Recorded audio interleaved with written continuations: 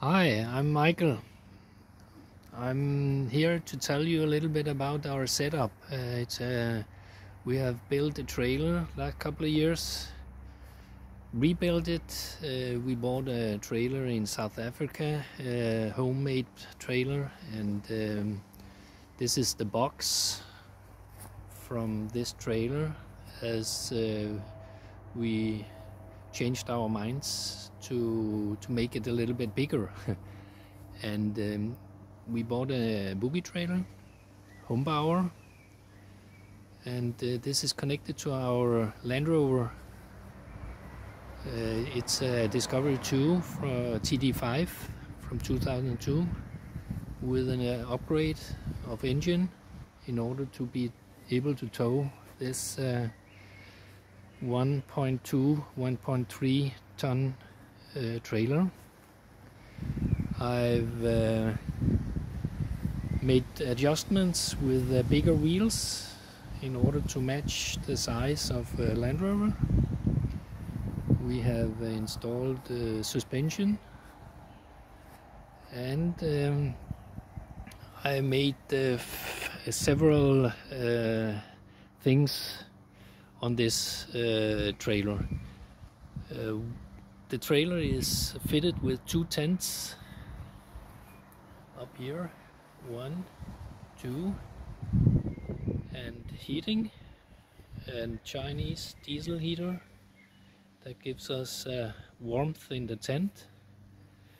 I have uh, installed gas for stove and um, as you can see here roof rack on the Land Rover is fitted with uh, two times 210 uh, watts um, uh, solar panels. And this is connected to the trailer. As you can see here in the box front box it's installed with all the electricity battery and the regulator fuses. Here you have the the fuses for light stove for for um, pump and fridge and uh, in inverter to get some normal 220 volts energy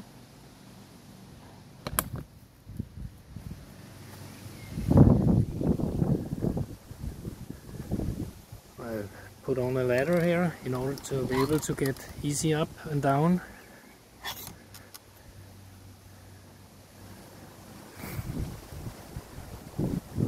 Uh, the box behind here, this box is the kitchen you open.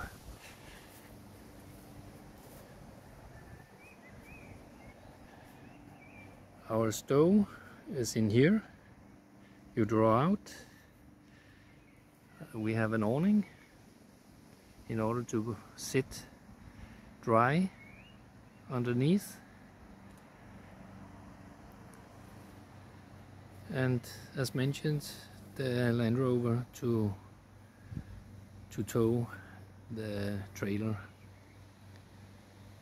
I will in future videos tell you more specific about the interior of the trailer